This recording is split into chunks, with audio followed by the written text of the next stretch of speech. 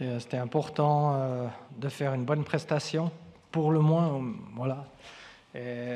En plus, on a fait des points. Et puis au goal average, voilà, c'est de nouveau 4 buts pour nous. Et ça, c'était important. Quoi.